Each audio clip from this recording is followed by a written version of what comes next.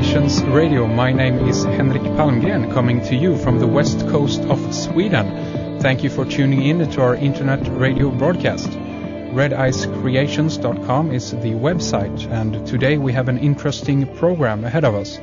We are going to talk about the electric universe and plasma mythology with our guest Rens van der Sluijs. He is the author of two books the mythology of the world axis, exploring the role of plasma in mythology, in world mythology, and uh, also the world axis as an atmospheric phenomenon.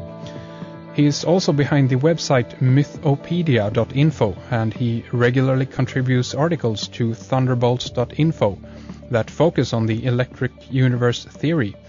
And uh, Ren's research looks at uh, what I myself consider to be one of the most interesting aspects to the electric universe theory, and uh, that is the so-called plasma mythology idea. And uh, as I said, that is what we're going to explore here today. Uh, the website is mythopedia.info. That's the main site you need to take a look at for much more of what we'll be discussing here today. So uh, let's say welcome to our guest. hi, Rens. Thank you for coming on Red Ice Creations Radio. Thanks for having me on the show, too. It's great. Much appreciated. Thank you. To kind of set the context here for our program today, I'm going to uh, read a, a, paragraph I thought from from uh, that is taken from your Mythopedia website to get into the uh, mindset, so to speak, of the program. Excellent.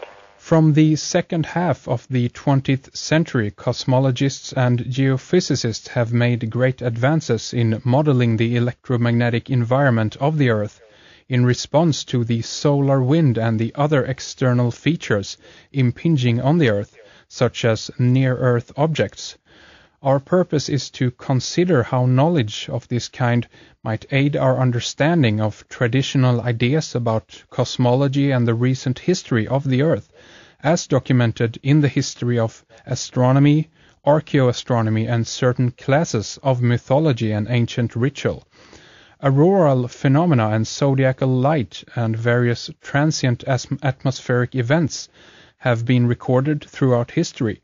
In particular, recent studies indicate that the Earth experienced a high energy auroral storm uh, towards the end of the Neolithic Age, which human cultures have recorded in the form of petroglyphs, geoglyphs, and a class of rituals and myths conveniently described as creation myths. The spectacular lively shapes caused by the instabilities in the plasma were uh, remembered by the ancients as gods, ancestors, or dragons, whose mysterious deeds in the celestial world constituted the destruction and creation of the world. So uh, fascinating indeed. Rens, you know, before we dive into this very interesting topic. I'd, I'd actually like to know a little bit about your background when it comes to the electric universe and uh, and of course how this connects with mythology as as I understand it you have a master's degree in comparative and historical linguistics um, and That's right yeah I'm actually a linguist Exactly, and specialize, specializing in the Indo-European and Semitic language families. So, I mean, in your studies in regards to language, then, uh, did this in any way kind of spark your interest in, in mythology and, and even perhaps in the electric uh, universe theory? No, actually, not in the least, uh, to be honest. Um, it didn't spark my interest. Um, but I do believe that linguistics is actually one of the best uh, possible preparations for a study of mythology. And that's for two reasons. Um, for one thing, uh, most mythologists, people like Joseph Campbell, Mircea Eliade, the big, the big ones, were not really able to uh, read any of the sources they used in the original languages. So they couldn't really read Latin or Greek, and there was no analysis of Egyptian or Sumerian. Yeah. If you can do that and you can you can check primary sources, it's just such a big advantage. So and you... the second thing is that the linguistics, um, especially the, the historical branch, um, offers a structural method that really helps in investigating myth. Ah. Obviously, mythology as such isn't really an existing scholarly discipline um, with, with a basis of agreement among specialists. Hmm.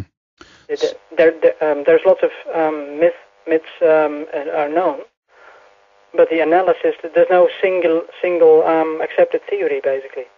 That's right. Um, so, so your I, I, do believe in the Net, in the Netherlands, for instance, it isn't even possible to study mythology as a subject. Really? On just because it's it's it's, it's part of the history of literature, the history of ideas. ah, Um, it doesn't really fit anywhere comfortably, and there's no consensus theory of myth as such. hmm, interesting. So I mean, you're uh, since you were special specializing in in Semitic language families and things like this, can can you read like uh, ancient Sumerian or Akkadian or what what are the language groups?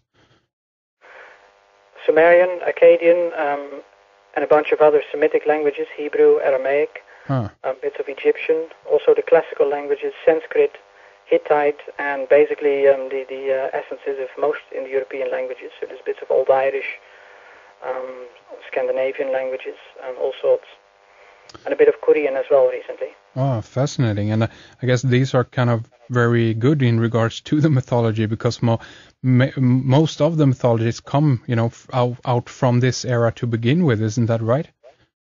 Absolutely, yeah. No, I, I found the um, the knowledge of languages as a toolkit most helpful in the investigation of myth. Definitely. But also the, the structural way of thinking, the structural methods that linguistics supplies, has been really invaluable in the study of myth as well. Hmm. Um, basically, mythology as it came to me was just an enormous welter of unorganized data, thousands and thousands of myths, and no real method of structuring them. And um, linguistic um, models of classifying grammatical data actually helped me to devise a new method of looking at myths and sorting them and um, classifying them into categories and stuff. Hmm. I see. So it's been it's been a major advantage this this linguistic background.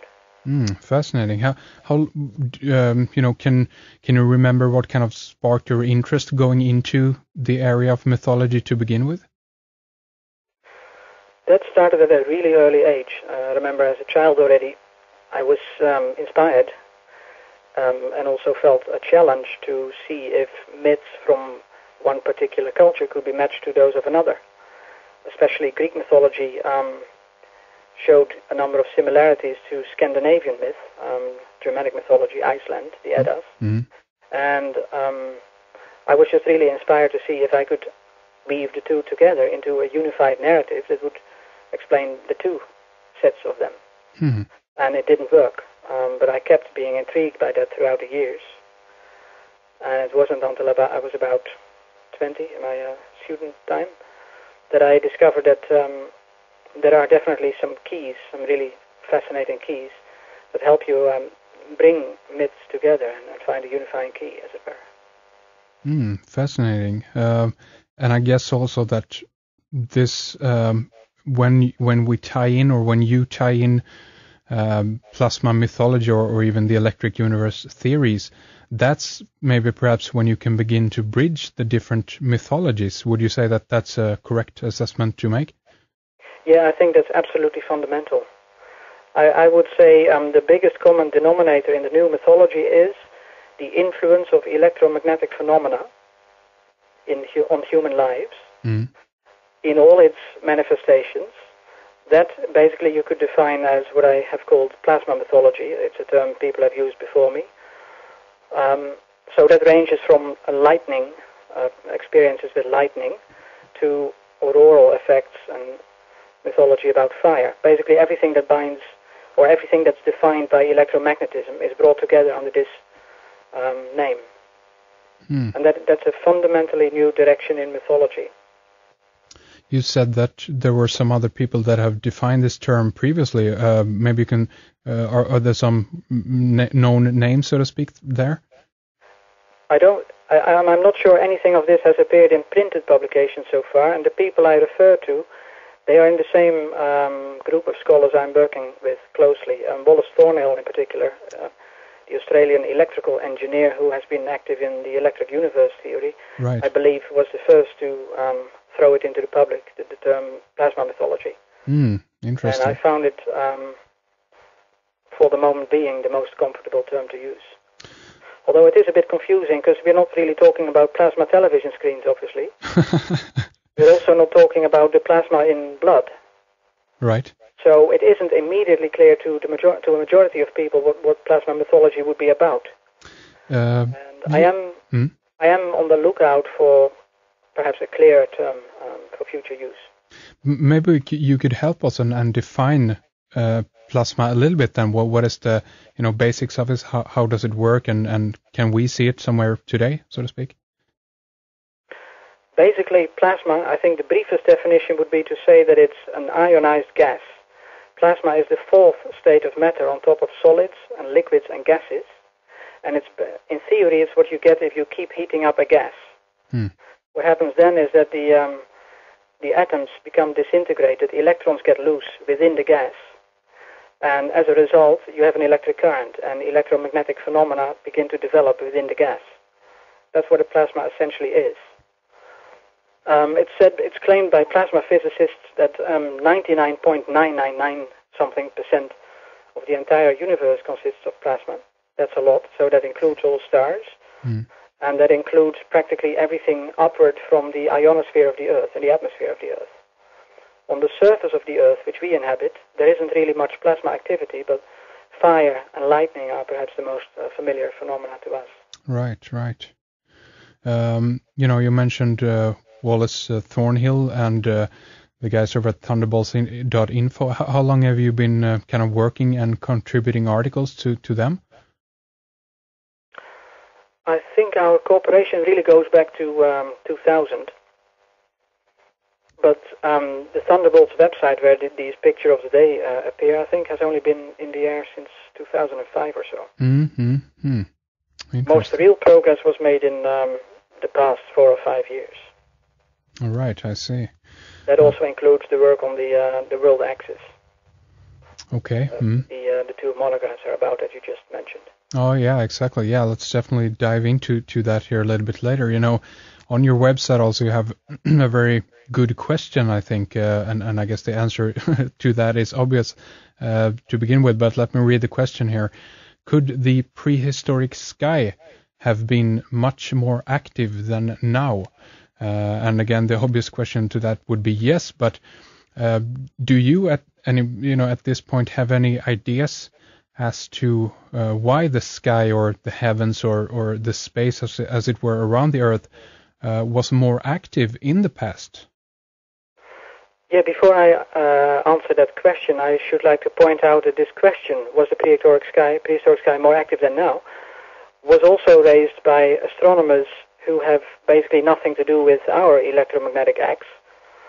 Um, cometologists, in particular, in, in, most recent years, have uh, repeatedly um, posed the same question. Just by looking at the, uh, the catastrophic effects of comets, uh, meteor showers, meteorite falls, mm-hmm in the inner solar system, they've basically drawn the same conclusion and an increased zodiacal light that um, we aren't really inhabiting a very safe, stable, and uh, eventless uh, corner of the universe. Hmm. So we're sharing this with uh, a number of other scientists at the forefront of science, I would say. Mm-hmm. So that's one thing I'd like to, to emphasize. Definitely. Um, and, you know, again, do, do you have any ideas to what events in the past, um, you know, that caused the the sky at that point to be more active? Why why was it more, um, you know, e- uh, plasma basically caused back then than than there is today? Or is this the case? Okay, okay, this is obviously the million dollar question. Yeah. I don't have the answer as yet. I don't think I will ever have, um, for the simple reason that I am not a scientist myself. So ultimately, the answer will the answer will come from scientists mm. not from mythologists. But obviously, I do have an opinion, and um, I do believe that the likeliest scenario at this point is um, increased solar activity. Uh, why am I saying that? Basically, the northern and southern lights, the auroras that you see most strongly at the poles, mm-hmm. are directly influenced by solar weather through the so-called solar wind, which carries charged particles from the atmosphere of the sun close to our planet.